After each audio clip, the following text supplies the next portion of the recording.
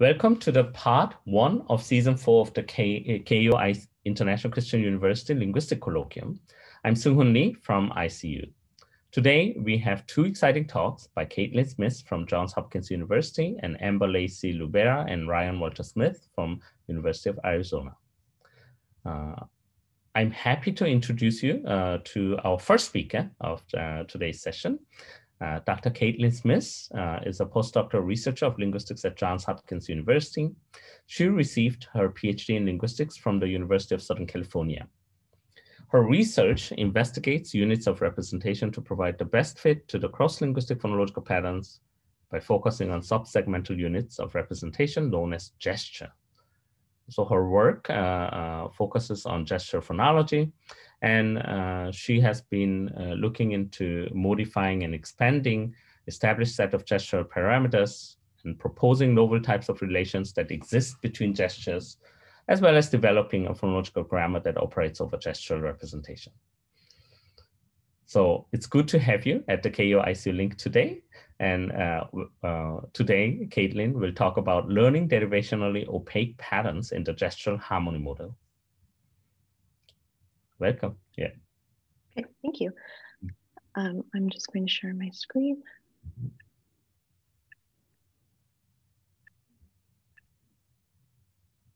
And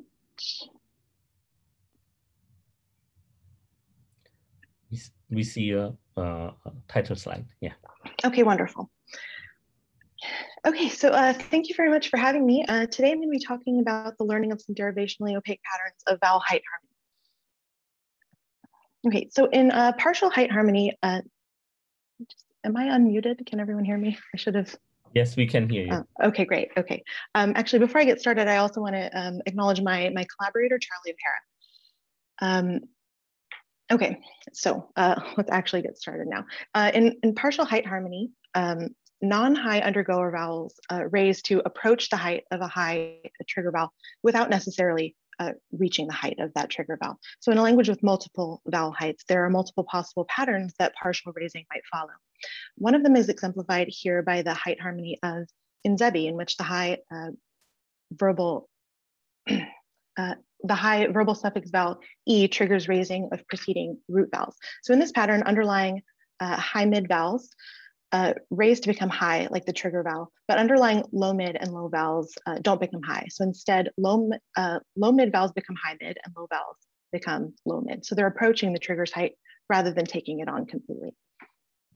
Uh, and this illustration of the pattern uh, that I've included on the left makes it clear that what we're dealing with here is a, a synchronic chain shift.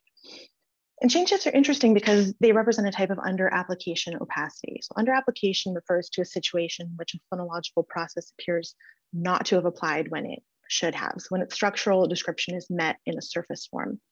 Uh, this is the case with chain shifts. Uh, so if we have a process that maps underlying X to Y and another that maps underlying Y to Z, then we can say that the Y to Z process has under applied to the Y derived from X. This kind of pattern is challenging for constraint-based phonological frameworks like optimality theory and harmonic grammar. Essentially, this difficulty boils down to having no explanation for why an underlying Y uh, maps to Z, but a derived Y does not, given that these frameworks don't actually have access to uh, the underlying versus derived status of a segment in most of their implementations. But we need some way of generating chain shifts, and in particular, chain shifting height harmony, because this is a well-attested type of pattern. So I've listed here a few examples in addition uh, to Nzebi of some chain shifting vowel raising processes. Another type of logically possible partial height harmony is one in which vowels raise either two steps or not at all, um, potentially giving rise to a saltation. Uh, so in saltatory raising, um, a vowel raises and skips over one of the heights in the scale, and the vowels at the skipped height don't raise. So it looks like they're being you know, uh, jumped over. These types of height harmonies appear to be unattested.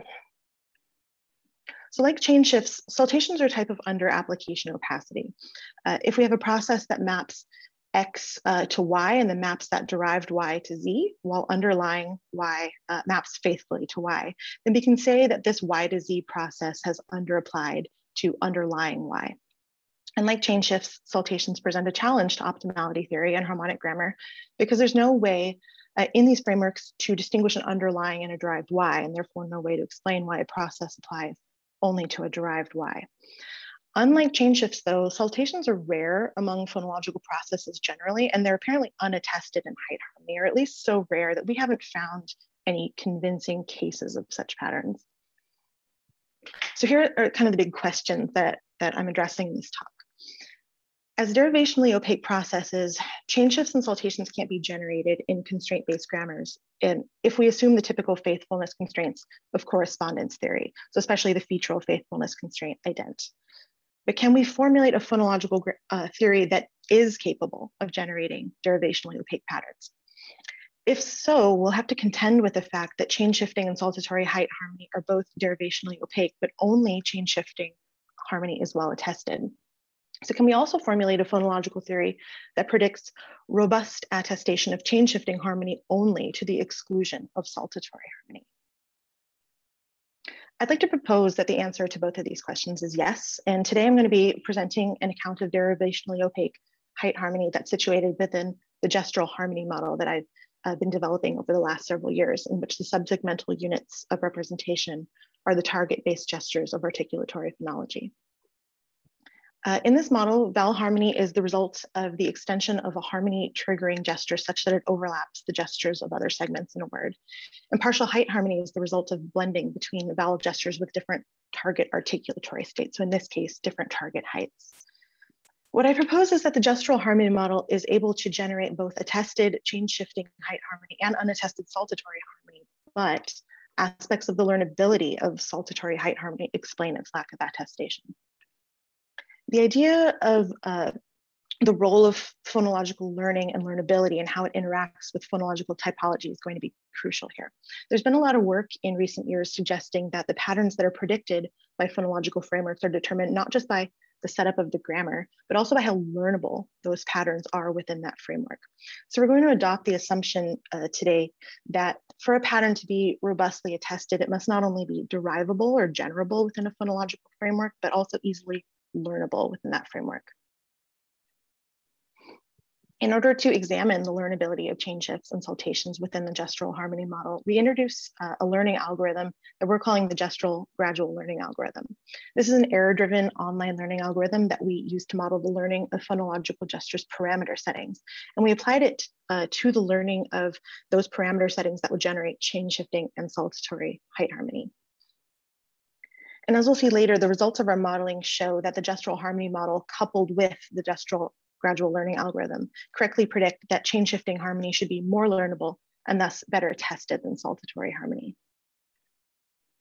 We can compare that to the situation in feature-based accounts of these derivationally opaque patterns. So I mentioned before that optimality theory and harmonic grammar can't generate derivationally opaque patterns using the faithfulness constraints of, uh, of correspondence theory. But if we assume some less standard faithfulness constraints, these patterns are generable within these frameworks. And to see how learnable these patterns were, um, we modeled the acquisition of the phonological grammars that derive them using the generational stability model proposed by my collaborator, Charlie O'Hara, in his recent dissertation. Interestingly, these models show that uh, featural frameworks that derive both chain shifting and saltatory height harmonies incorrectly predict uh, saltatory height harmony to be more learnable therefore better attested than chain shifting harmony. So here's a roadmap of the rest of the talk. Um, I'm going to start by going over the basics of gestural phonology before moving on to outlining uh, the gestural harmony model. From there, I'll present uh, an analysis of the chain shifting height harmony of Nzebi within that framework. I'll then introduce the gestural gradual learning algorithm and present uh, the results of our computational modeling of the learning of both chain shifting and saltatory height harmony. And then I'll discuss our work on how these derivationally opaque processes can be generated within feature-based phonological frameworks, uh, as well as the results of our learning models for those frameworks. Um, because of time constraints, I'm just going to be giving a very brief summary of this last uh, part of the project, but I've included a couple of appendices with some expanded uh, discussion um, at the end of my set of slides, and I'm happy to go into greater detail after the talk and also to, to take questions about it. Uh, but first things first, uh, let's start with an overview of the gesture as a unit of phonological representation. Okay. Uh, so gestures are, are goal-based units. So they're specified for a target articulatory state. So open uh, velum, protruded lips. Here we're looking at an example of a gesture with a goal of alveolar closure that would be used in the representation of an alveolar stop. The achievement of this gesture's target articulatory state unfolds over time according to a dynamically defined equation of motion that's represented by this gradually climbing line within the box. The length of time over which the gesture commands the vocal tract to achieve its target state is its activation period, and that's represented by the box's horizontal length. So the x-axis represents time in, in these gestural representations. Um, when sufficient time has passed for this goal to be achieved, the gesture deactivates and its articulators can return to specified uh, neutral positions. That's what this, this gradually falling line here is. Um, and each gesture specified for several uh, parameters um, that determine like sort of how and when this uh, this uh, this closure uh, target uh, is reached. Okay, so a gesture's target articulatory state is specified in terms of constriction, location, and constriction degree. The constriction location consonantal gesture is specified at some specific point along the static surface of the vocal tract, so the palate, the uvula, et cetera.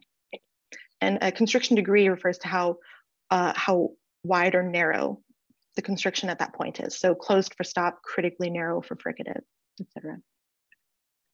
I'm assuming something just a little bit different for vowels. So if you're already familiar with gestural representations, um, I'm diverging a bit from how vowels are usually represented within articulatory phonology.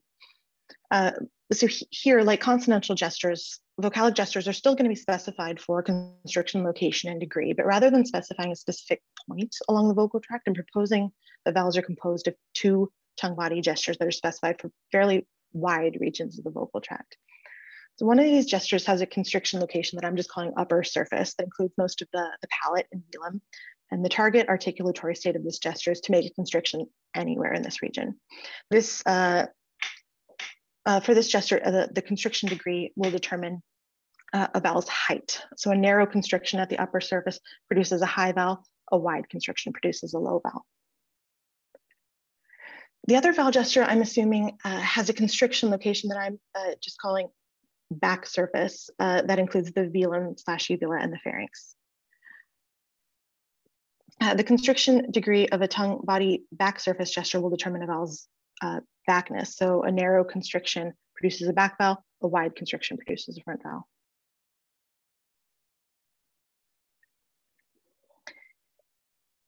In addition uh, to the parameters that describe the production of uh, a gesture's target articulation, there are a couple of additional gesture parameters that are going to be important in today's talk.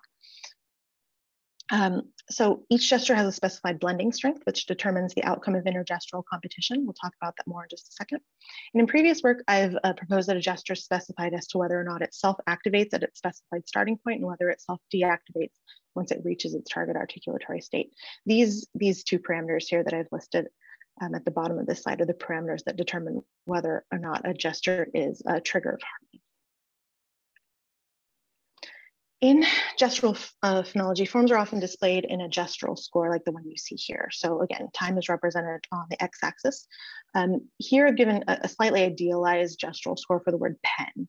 The familiar segmental transcriptions at the top um, and the subscripts for each segment match the subscripts of the gestures that they're composed of.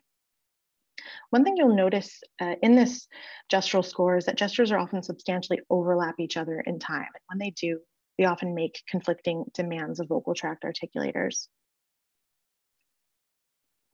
We can see a clear example of, of conflict between temporally overlapped gestures in the VCV sequence like aga that I've provided here. We can see that throughout the VCV sequence, the vocalic gestures uh, for the ahs require the tongue to be central or back and uh, low, while during the production of the ga, the tongue is required uh, to make a closure at the velum. And this means that during the period in which the gestures of both ah and ga are active, um, this period here, their target articulatory states are in competition with one another. So both target states uh, can't be perfectly attained at the same time. So we say that these gestures are antagonistic to one another. Uh, according to the task dynamic model of speech production, when gestural antagonism occurs, it's resolved by blending the competing target states of these gestures to create an intermediate target state that holds during the period of their concurrent activation. Uh, this blended target state is the, the weighted average of the two gestures' individual target articulatory states. And the weighting in this averaging function is contributed by the gesture's blending strength uh, parameters, which are denoted by alpha. So returning to our aga sequence, this means that during the period in which the antagonistic gestures of both a and g are active, gestural blending occurs to resolve the competition uh, between them. So if the ah is of a particularly high strength, its target will be favored by gestural blending and the vocal tract will take on this posture in red. On the other hand, if the g is of a higher strength, its target will be favored by gestural blending. Um, and the vocal tract will take on the posture in blue. And if their blending strengths are roughly equal, we'll see the vocal tract take on an intermediate posture like this one shown in purple. Um, in uh, the real world case of gestural blending in a VCV sequence, we expect to see something most closely resembling uh, the blue outcome, so a consonantal gesture that's stronger than the vowel gesture. Um, keep that in mind for later. Okay, so now that we have a grasp on how to use gestures to represent words, we can move on to how to use gestures to represent vowel harmony with, within the gestural harmony model. Okay, so here I'm showing you several types of gestures that are assumed in the gestural harmony model. The top gesture is a typical self-activating and self-deactivating lip protrusion gesture that would be used uh, to represent rounding. When it reaches its target articulatory state, uh, it self-deactivates. Uh, the gesture below it is a persistent or non-self-deactivating gesture. Uh, the dashed line here uh, indicates the point at which the gesture reaches its target articulatory state but doesn't deactivate. Instead, it remains active, extending and overlapping the gestures of following segments. The bottom gesture is an anticipatory or early activating gesture. So the dashed line here indicates the point at which the gesture is scheduled uh, to start according to its position in a word. But since it's an anticipatory gesture, it's achieved, it's activated uh, before that point. Uh, so extending to overlap the gestures of preceding segments. So in this model, Harmony arises when a segment includes a gesture that's either persistent, anticipatory, or both. Uh, so that segment is the trigger of harmony. Other segments undergo harmony when their composite gestures are overlapped by a harmony triggering gesture. So this is a quick example of how to gesturally represent rounding harmony. This is a gestural score for an OO sequence. So remember time is on the x-axis. Um, so a persistent uh, lip protrusion gesture, that's this blue guy here, overlaps the gestures of the following vowel. And so this second vowel surfaces as rounded. Uh, we see in the time course of lip protrusion below the gestural score that the lips reach their target state, uh, protruded, and remain there throughout the word. And this is the basic representation of harmony within this model, so a single uninterrupted harmonizing gesture. But sometimes segments appear to have been skipped over by the harmony process, and we refer to these segments as being transparent to harmony. To account uh, for transparency, this model takes advantage of the fact that gestures are goal-based units, so they can be specified for a target articulatory state without necessarily achieving it successfully. Uh, one of the major innovations of this model of harmony is that transparent segments are a special type of undergoer, and that transparency is the result of blending two gestures that are antagonistic to one another, just like we saw in the aga sequence earlier. So remember, Gestural antagonism refers to a situation in which two concurrently active gestures have opposing target articulatory states. Uh, so here I've provided a schematic of how gestural antagonism can result in transparency to harmony. We have a harmonizing gesture that spans an entire word and another gesture that's active for some shorter period of time uh, within that. These gestures are antagonistic to one another. They have conflicting target states, so they compete with one another. Um, and I've shown an abstract time course for some uh, you know, abstract vocal tract variable, showing that this competition has favored the target of the antagonistic gesture in blue rather than the harmonizing gesture in tan. And this is due to the gesture's uh, respective strength parameter values. Okay, so this is the gestural score for an OEO sequence in which the E is transparent to rounding harmony.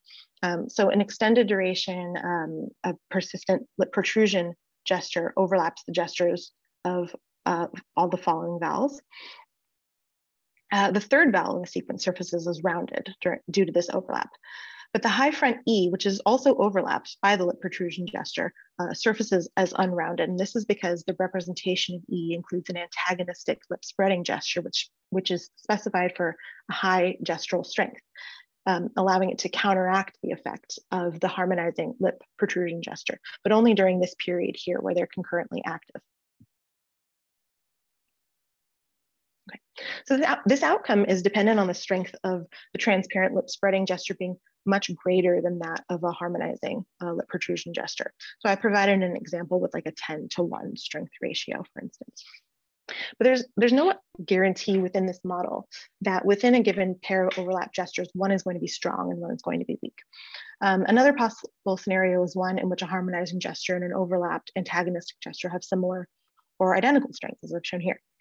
Uh, and when this occurs, the prediction is that we would have a case of blending resulting in partial transparency and partial undergoing of harmony. And that's just what we need for our analysis of the chain shifting partial, partial height harmony of Nzebi. Okay, so here's a reminder of the, the data we're accounting for in which the high vowel E in a suffix causes raising of preceding stem vowels. This is a case of partial chain shifting vowel raising harmony in which uh, low and low mid vowels uh, only partially assimilate to the height of the trigger of harmony. And this partial assimilation can be analyzed as a result of the blending of antagonistic vowel gestures. The four vowel heights observed in Nzebi can be re represented by each vowel, including an upper surface gesture with one of four possible target constriction degrees. So narrow, narrow, mid, wide, mid, and wide. I've also provided these vowel heights with just slightly idealized numerical values. And I analyzed the vowel harmony in Nzebi as the result of overlap by an anticipatory upper surface uh, vowel gesture with a narrow constriction degree. It's part of the representation of the suffix high vowel E. Um, what's important to note here is that um, all vocalic upper surface gestures that are specified for any constriction degree um, other, um, other than narrow are antagonistic to this harmonizing gesture. So which means that when they're overlapped by it, gestural blending occurs. Um, and we can see several different outcomes of blending in this time course of tongue body height here. These outcomes of blending will depend not only on the vowel gesture's different target constriction degrees, but also on their different strength parameter values. Um, so I've also provided these vowels with some hand-picked strength values. Uh, for those, keep in mind that it's the strength ratios between the gestures that matter and not the precise strength values that I've provided here. Uh, so the high mid vowels uh, surface as high rather than resisting raising, and that suggests that they have a blending strength that's lower than the triggering E's gestural strength. So they'll surface as full undergoers. Um, when they're overlapped. But the vowels specified for wide and wide mid constrictions that only partially undergo this vowel raising harmony are able to partially resist the raising effect of the triggering narrow gesture. The wide uh, mid vowels raise to only an intermediate degree when they're overlapped by E, and that suggests that E and A are of roughly equal blending strength as the triggering high vowel. And the wide vowel ah is proposed to have an even greater gestural strength, allowing it to resist raising for the most part. So surfacing is eh when overlapped by the gesture of e. Okay, so let's see this uh, analysis in action. Okay, I mentioned that by specifying narrow mid vowels A and O um, to have um, a much lower blending strength, something like just a tenth the strength of high vowels gestural blending is going to result in a blended target state that's very similar to that of the harmony trigger, so within half a millimeter. As a result, uh, A and O fully undergo harmony and the surface is raised, as we can see uh, for this gestural score and the resulting uh, time course of tongue body height here. Wide mid vowels, on the other hand, resist fully undergoing harmony, but they also don't surface uh, as fully transparent to harmony. Um, this partial undergoing is, is generated by providing the high trigger E and the low mid undergoers at and uh, all equal strengths. So the blending function doesn't favor either target articulatory state over the other, but instead returns a target constriction degree that's intermediate between the two and uh, consistent with the target constriction degree of the underlying high mid vowels. Uh, so this, uh, this gesture overlapped by E produces something like eh. And finally, wide vowels also resist fully undergoing harmony and, uh, and surface of the wide mid constriction degree that's closer to ah than it is to e. Uh, so something like eh. And this is generated by providing ah with twice the blending strength of e, um, as we can see uh, in this, this blending function here. Uh, so the blending function returns a target constriction degree consistent with uh, that of eh, um, as we can see um, uh, from this blending function and also from this, this time course of tongue body height here. Okay. So the gestural harmony model provides a successful account of chain shifting height harmony in Nzebi. And this success arises because we're able to use gestural blending to produce the effect of vowel raising, but the individual gestures of each vowel are still present and unaltered in the gestural score. And what this means is that while an underlying A, for instance, and an A derived by blending may be articulatorily and acoustically uh, similar or even identical, um, their gestural makeups are different as we can see here. So despite the height harmony of Nzebi looking like a chain shift, in this gestural model of height harmony, apparently chain shifting raising is actually modeled as a derivationally transparent uh, pattern. And this is a really nice result because we can avoid the, uh, the difficulties in generating a synchronic chain shift in optimality theory or harmonic grammar. So what about our other derivationally opaque pattern, saltation? Uh, well, this model can also generate unattested saltatory height harmony like the one I've shown here, um, provided that gestures are permitted to take on some pretty extreme strength values. So here I've provided some hand-picked strength that'll produce something pr pretty close uh, to the raising pattern indicated by the arrows. But why does saltation require such extreme blending strengths?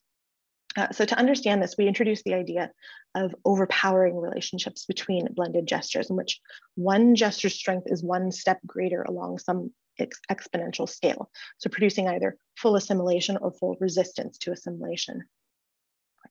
So to produce assimilation of a segment X to a segment Y, the blending strength of Y's gesture must be exponentially greater than that of X, so say 10 times more. Uh, but for a segment Z to resist assimilation to Y, the blending strength of Z's gesture must be exponentially greater than that of Y. So we end up uh, with a chain of overpowering relations like the one we see here, um, in which strength uh, increases exponentially among these, these overpowering uh, relations, among these gestures in overpowering relations, excuse me. Uh, we saw in our analysis of chain shifting height harmony in, in Nzebi that only one overpowering relation is necessary to drive the pattern. So high mid vowels fully assimilate to high vowels, so high vowels must overpower high mid vowels. But two-step uh, saltatory height harmony requires two overpowering relations among vowels. The high mid vowels must fully resist raising, so they must overpower the high vowels. Uh, and low mid vowels fully assimilate to the high vowels, so high, high vowels must overpower the low mid vowels these differences in the number of links and these chains of overpowering relations between gestures of different vowel heights affect how strong the strongest gestures need to be in order to generate a given raising uh, pattern. And we'll see that this difference in the extremeness of the gestural strength necessary to generate chain shifting and saltatory height harmony, um, this difference has important consequences for the relative learnability of these patterns. And that's the subject of this next uh, section. I mentioned at the outset that there's been increasing attention paid to the role of the relative learnability of phonological patterns in affecting how typologically frequent they are. So broadly, a pattern that's more difficult to learn is more likely to be mislearned and therefore more likely to change across generations and therefore become typologically under or even unattested. Uh, what we're going to show in this section is that assuming a gestural phonological framework, saltatory height harmony requires much more data to be correctly learned than chain shifting harmony. So even if a case of saltatory harmony uh, developed, it would be far more likely to change across generations and even disappear completely. In order to test the learnability of our derivationally opaque uh, height harmony patterns in the gestural harmony model, my collaborator, Charlie O'Hara, and I developed the gestural gradual learning algorithm.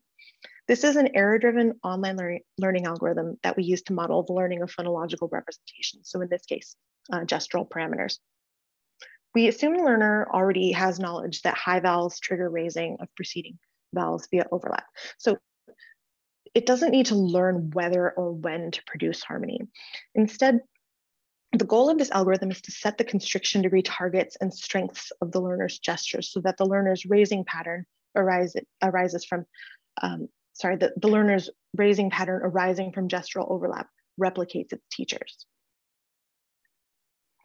Uh, so here's the learning algorithm, and it's a bit of a wall of text. So I'm just going to walk you through it really quickly. Um, so on each uh, training iteration, we randomly generate a CV or a VCV sequence. if V2 is a trigger of harmony, the learner knows that it overlaps V1 and that they're blended. And if the consonant is a dorsal G, then it's also blended with the V2. So just like the aga sequence that I showed you earlier. If the learner produces an error, so like if it produces a constriction degree outside of a set window, uh, then the learner's gestural parameters are updated. Um, and I'm gonna walk you through a couple of example learning trials to illustrate those updates. Um, it's a little easier than reading them. Um, so in this example, the learner is attempting to produce underlying abi, which should surface as ebi due to height harmony. But when we compare it with the teacher's production of ebi, um, we can see that the learner produced it with a V1 that's a bit too wide. Since the first vowel um, was produced with too wide a constriction degree, and since blending of two gestures was involved in this error, a few updates occur. Uh, so the learner updates the constriction targets of both the ah and the e to be slightly narrower. And it also updates their strengths. So the ah is slightly weakened and e is slightly strengthened. Um, not all of these updates actually bring the learner's gestural parameter settings closer to the teacher's settings, but all of these updates will ensure that on the next trial in which ah blends with e, the outcome will be a narrower constriction. Okay. So in this example, the learner is attempting uh, to produce underlying ega, which should surface as ega. Uh, but when we compare it with the teacher's production, um, we can see that the learner produces it with a V1 that's a bit too high or a bit too narrow, um, and a dorsal approximant uh, rather than a stop. Since the first vowel uh, was produced with too narrow a constriction degree, the learner updates its constriction target to be slightly wider. This gesture isn't blended with anything, so its blending strength value is not updated. And since the G was produced with too wide of a constriction degree, some additional updates are necessary there. So the G and ah gestures are blended with one another. So the learner updates their constriction degree targets to be narrower and their blending strength so that uh, G gets stronger and ah gets weaker. Okay, so that's how the algorithm works. These are the patterns we tested it on.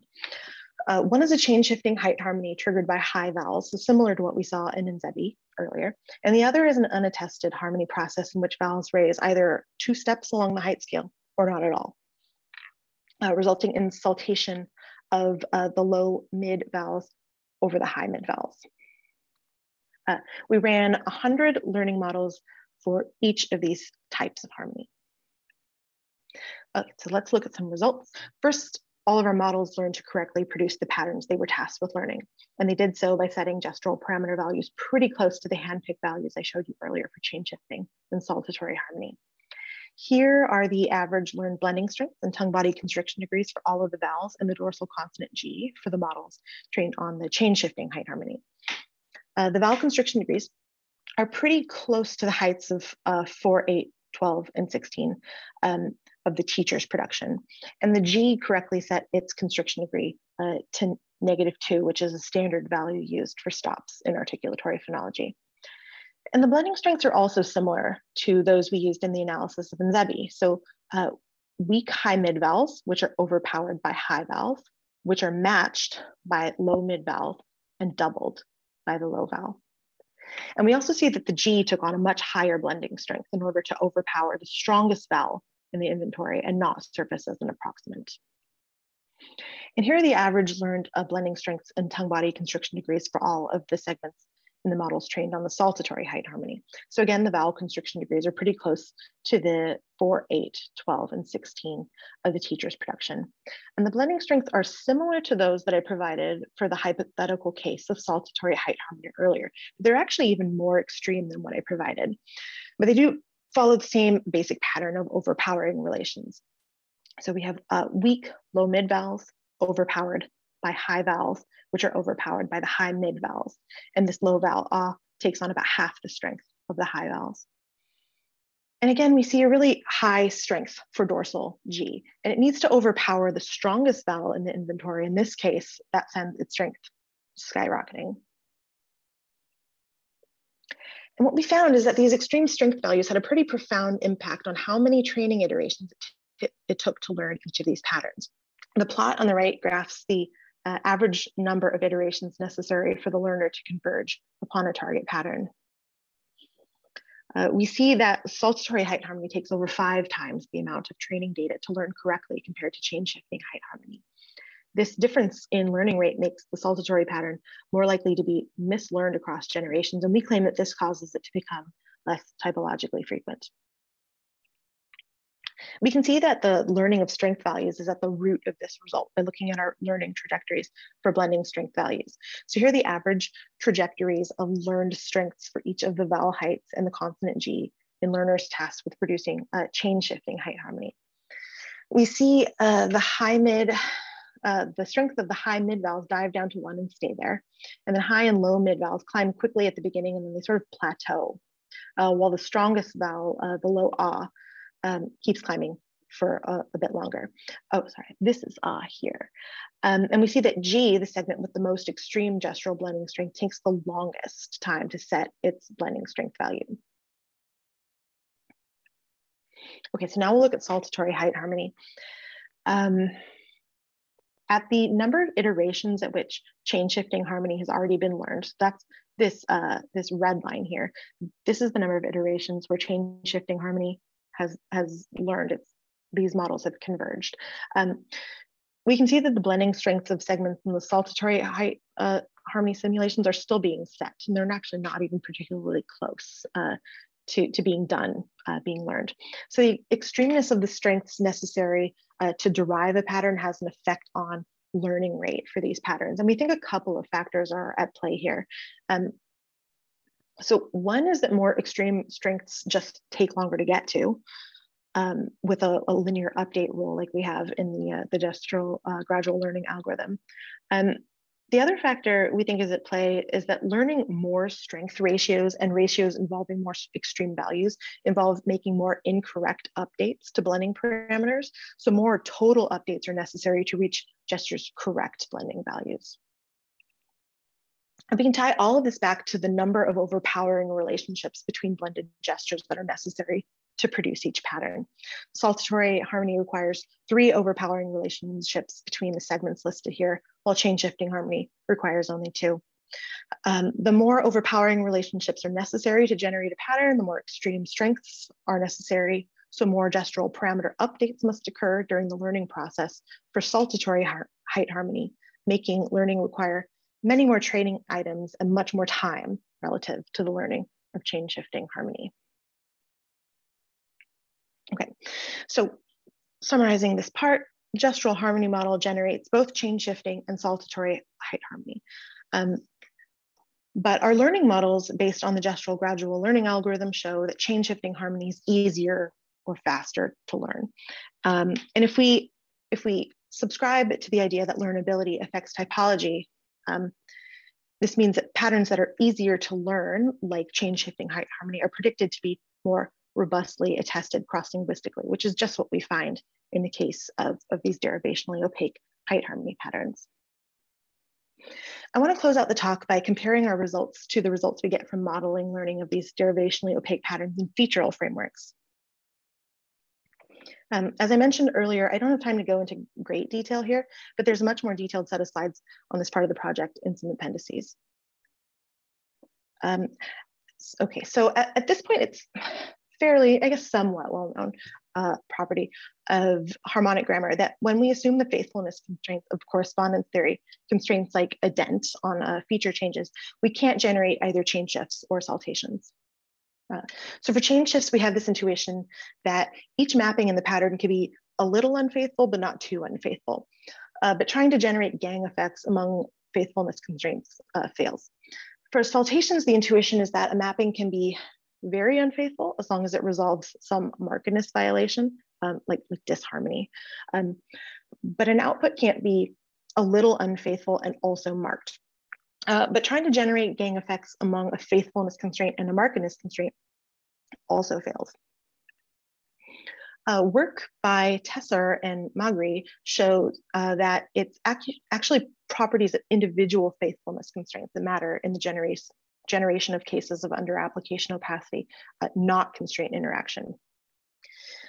For a constraint like ident, the number of violations incurred by a less faithful mapping are um, exactly those incurred by its more faithful component mappings. So the mapping x to z, skipping over y, incurs exactly the same violations as the mappings x to y and y to z combined.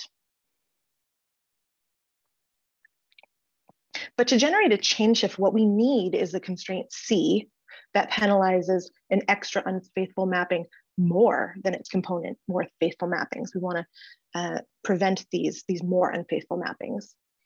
And to generate a saltation, we need a constraint S that penalizes an extra unfaithful mapping less than its component, more faithful mappings. So we need a different type of faithfulness constraint in order to derive chain shifts and saltations. And there are a couple of proposals of note that fit this bill.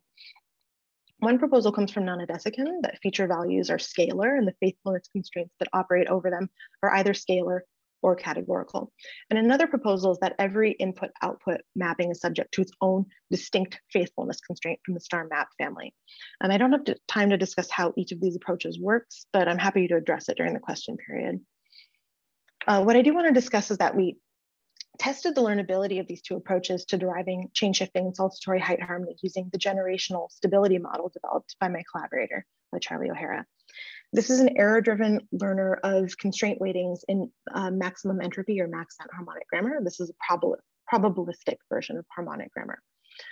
Um, and this is an iterated learning model, which means that a learner is trained on a pattern provided by a teacher, and then that learner matures and becomes the teacher for a new learner uh, of the next generation. And this process is iterated through some number of generations.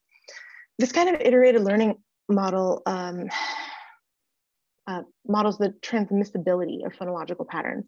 And we can interpret greater cross-generational stability of a pattern as predicting that a pattern should be more robustly attested. So we conducted several sets of simulations using this learning model. Uh, we simulated learning using the constraint set from feature scales theory, as well as the constraint set utilizing distinct faithfulness constraints from the star map family for each input output mapping. Um, and for the distinct faithfulness simulations, we also ran simulations with three different sets of initial constraint weightings. Uh, feel free to ask me why. Um, for all of these constraint sets and initial weighting conditions, we simulated the learning of both chain shifting and saltatory height harmony. So 100 simulations per pattern type, per constraint set, per initial weighting condition. Um, at each generation, a learner went through 2,000 learning trials and each simulation went on for 10 generations. We'll look at the results of the scalar and the categorical faithfulness simulations first. Uh, what we see is that the cross-generational stability of uh, chain shifting height harmony is actually less than that of saltatory height harmony. Saltatory height harmony was stable in the vast majority of the simulations, uh, whereas the chain shifting harmony changed uh, to a different type of harmony pattern by the end of the simulation about a third of the time. And we see something really similar for our distinct faithfulness uh, simulations. Regardless of initial weighting condition, chain shifting harmony is never more stable across generations than saltatory height harmony. And in fact, for one of our initial weighting conditions, uh, chain shifting harmony was much less stable and saltatory harmony. Okay, so we've looked at two different uh, feature-based approaches to generating under application opacity and harmonic grammar. And when we look at the learnability of these patterns and these frameworks, we see that both um, incorrectly predict that uh, saltatory height harmony is either as easy or easier to learn, and therefore more stably transmitted across generations relative to chain shifting harmony. And this predicts that saltatory harmony should be more widely attested cross-linguistically than chain-shifting harmony, contra what we see in real-world typology and contra what we found in our gesture-based learning simulations. Okay, uh, so to sum up, um, I've walked you through the gestural harmony model um, and shown that it's sufficiently powerful to generate apparently derivationally opaque chain shifting and saltatory height harmony patterns. Featural frameworks that eschew correspondence theory-based faithfulness uh, constraints are also powerful enough to generate these opaque uh, chain shifts and saltations. Uh, so from here, we turn to learning results. The results of our learning simulations using the gestural gradual learning algorithm correctly indicate a typological bias favoring attested chain shifting harmony and against saltatory, saltatory harmony. Um, while the results of our learning simulations in featural frameworks incorrectly indicate a bias favoring saltatory harmony and against chain shifting harmony. And uh, that's all I've got. Thank you.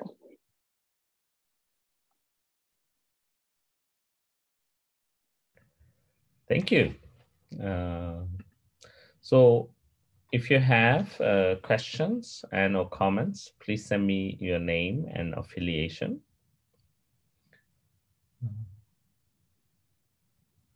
So the first question will come from Shigeto Kawahara at Keio University.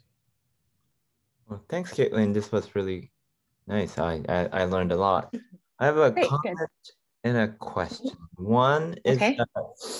essentially your analysis is treating the chain shift as coalescence. Is that right? Like blending um, of gestures.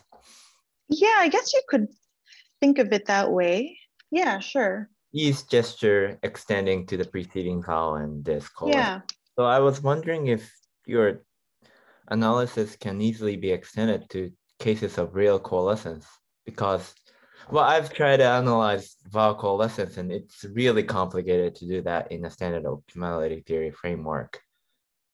Yeah, yeah. So I haven't actually thought about uh, about you know standard cases of coalescence, but I think it could be extended in that direction fairly uh, straightforwardly. Um, really, all you would need is for the, the phonological grammar to produce the overlap and then the the gestural blending would sort of take care of of what the the outcome of that overlap would be. Yeah.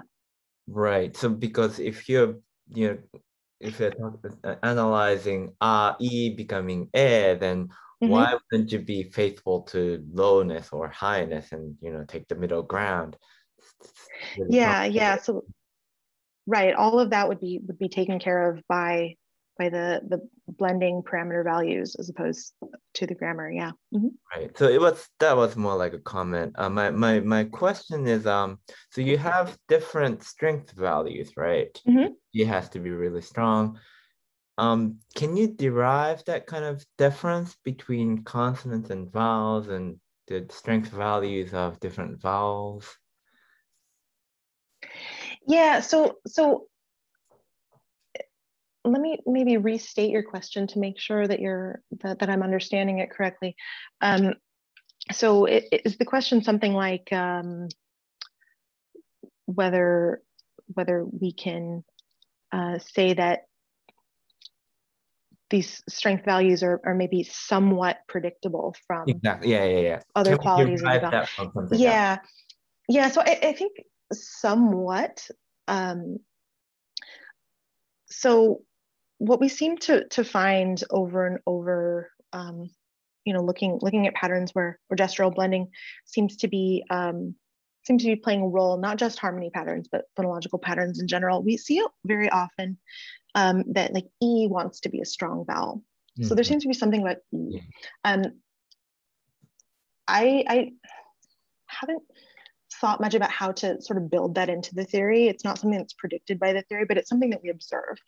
Um, I think there's also something about uh, peripherality. So um, in a lot of harmony patterns that I've looked at, what we seem to see is things like high vowels and low vowels want to be the, the strongest. And that doesn't seem like an accident. Um, so yeah, I think that there, there's a need to be able to, to specify um, vowel strengths as opposed to letting them be purely emergent, but there does seem to be something emergent about them. Um, and I think we need to, to think more about how to how to maybe build those biases into the theory because they're, they're not there currently. Okay. Yeah. Great, thanks. Yeah. Thank you. Um, due to the time constraint, we, because we have the another talk, uh, we will continue the question and answer in the breakout room. Uh, would that be okay, Hedley? Yeah. Yeah, absolutely. Yeah. yeah. Uh, so now the recording uh, should stop.